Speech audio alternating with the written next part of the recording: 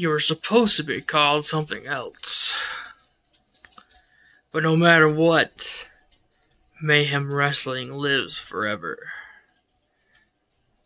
And while the chosen one might live in Virginia, there's nothing worse than what's about to come in Mayhem Wrestling.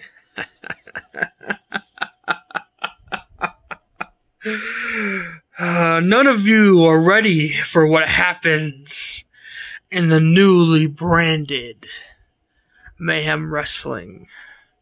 But we're back and better than ever.